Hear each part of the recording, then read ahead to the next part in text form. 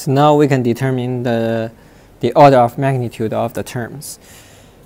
Let's assume that delta is very, very smaller than L. L, I said, is the characteristic length of the system. Maybe we can, uh, we, we can say that L depicts the length scale in the x direction. Okay, so delta, since now we are studying the boundary layer, and delta, you can say is the length scale in the y direction. So we are assuming that uh, the boundary layer is very thin, right? This is uh, a legitimate assumption to make even in real life. Delta is very smaller than L. Then if we define a delta naught to be delta over L, this is the non-dimensional thickness, right? This thing should be much smaller than 1, which means the order of magnitude of delta naught is smaller than the order of magnitude of 1. Based on this, we can determine the order of magnitude of each term. Let's first say x naught x naught is x over L, right? We assume this thing is of order of 1. Because I, as I have said, L depicts the length scale in the x direction. So of course, the x coordinate x will have a will have the same order of magnitude as this length scale. But what about y? y naught equals to y over L, right? y is the same order of magnitude as delta, right? Because y lies within the boundary layer. So we would expect this thing to be of an order of the order of delta naught.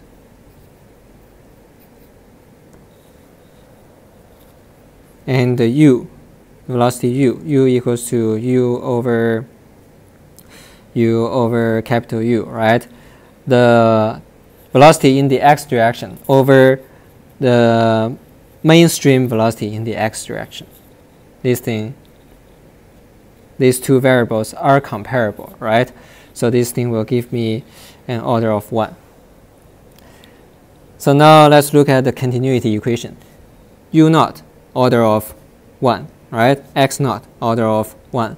So du naught dx naught will give me a quantity which has an order of 1. Mathematically speaking, in order for two terms to add up to 0, they must have the same order of magnitude. So dv naught dy naught should also give me a quantity which has an order of 1. And here we also see that y naught has the order of delta naught, right? So in order for this term to be of order 1, then v naught must be of the order of delta naught. So here because dv naught dy naught uh, will give me an order of 1, then v naught should be of order delta naught. Now we move to t. t, t naught equals to t times u over L. We assume this thing to be order of 1. So du naught dt naught order of 1, right? u naught 1, u naught 1, x naught 1. This thing together is 1. U naught 1, U naught 1. Uh, no, here is V naught. Uh, U naught is 1, V naught is delta naught, right? This thing is delta naught. Y naught is on the denominator. It's also delta naught. So this thing will give me 1 over delta naught. So together, this term will give me 1, the order of 1. So we can see that on the NS equation, in the NS equation on the left hand side, the quantity is of order of 1, right? Here, uh, we leave the pressure for now, for a moment. The Reynolds number, we assume it to be of order 1 over uh, 1 over delta naught squared. 1 over delta naught squared. Delta naught is a very small number, right? So 1 over delta is a very big number. 1 over delta squared is an even larger number. So here we are assuming that the Reynolds number is very, very high, right?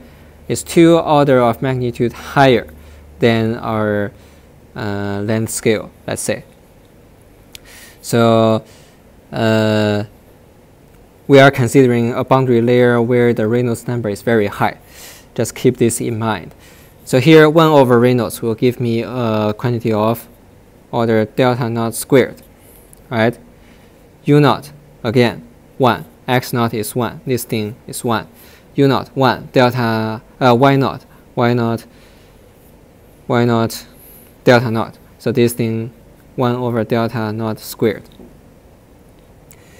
We can see this term gives me delta naught squared, but this term gives me order of 1, right? Now the third equation, V naught T naught. T naught is 1. V naught is delta naught. This thing is delta naught. 1, 1, delta naught. Together delta naught. Delta naught, delta naught, delta naught. Together delta naught. Alright? This thing, I leave it for a moment. Reynolds again, delta naught squared. Delta naught squared.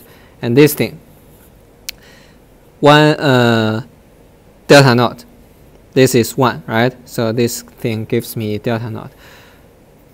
Delta naught, delta naught squared, 1 over delta naught. Okay, so now, as I have said, we can neglect the terms which have, uh, which have a lower order of magnitude compared with the order of 1. We are considering uh, the quantities, we are only considering the quantities in an order of 1 or higher. Obviously, we don't have higher order terms here, so we just need to uh, neglect the lower order terms, right? What are the, which are the lower order terms? For example, you see here, this thing, as I have said, will give me delta naught squared, right? The whole equation is in a scale of what?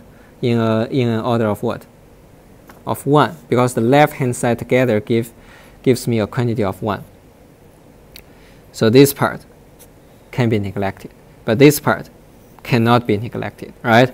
Because delta naught squared times 1 over delta naught squared, this quantity will be of order 1. Also, we see the uh, NS equation in the y direction. Delta naught, delta naught, delta naught so this equation basically has an order of magnitude of delta naught, right? We see on the right hand side this thing gives me delta naught cubed, right? It's even a smaller number than delta naught. So obviously this part can be neglected. This part also gives me delta naught, right? So if the equation is uh, depicts a phenomenon in the scale in the order of magnitude of delta naught, then this thing must give me an order of magnitude that is smaller than or equal to the order of delta naught, right? It cannot be, uh, let's just write it this way.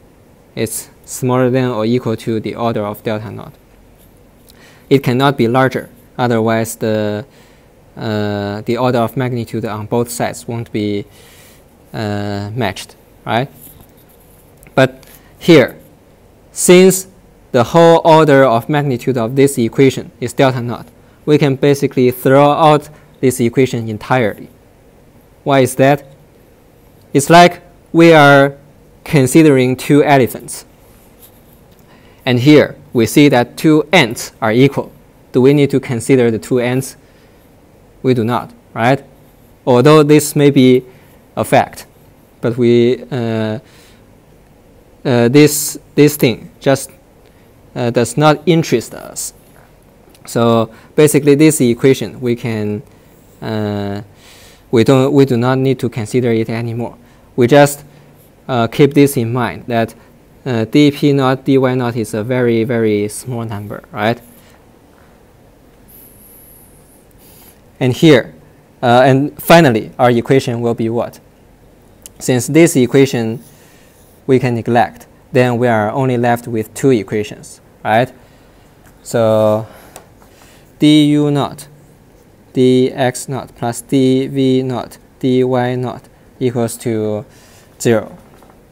And the ns equation in the x direction uh, will give us du naught dt naught plus u naught du naught dx uh, naught plus v naught du naught dy naught. This thing will be uh, 1 over uh, minus dp naught dx naught plus 1 over Reynolds. Remember the first term uh, is neglected, so we are only left with the second term, d squared u naught dy naught squared. And the third equation, we can throw it away entirely.